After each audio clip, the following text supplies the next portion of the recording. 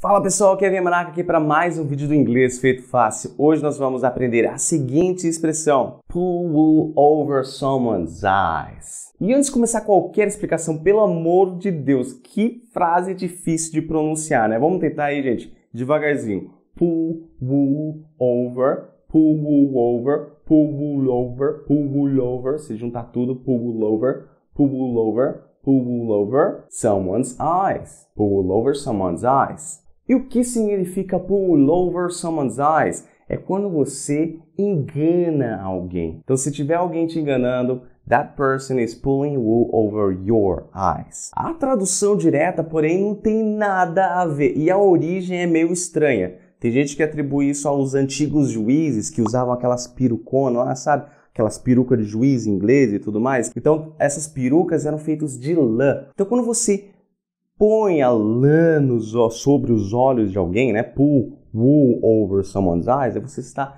cobrindo a visão dela, entendeu? Você está enganando a pessoa. Então, para você enganar a pessoa, você cobre a visão dela para ela não ver o que você está fazendo.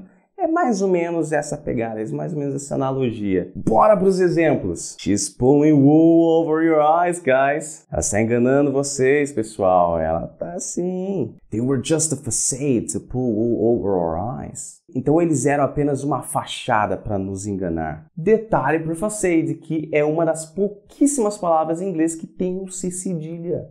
E um último exemplo aí para ajudar vocês. Many believe the government is pulling wool over the population's eyes. Muitos acreditam que o governo está enganando a população. Mas não vamos falar de política nesse vídeo não, gente. Vamos falar de coisa boa. Vamos falar de comentar, curtir, seguir a gente nas redes sociais e, é claro, ficar ligado para amanhã numa próxima dica aqui no Inglês Feito Fácil, onde o seu inglês acontece, gente. Valeu, hein? Até a próxima. Tchau.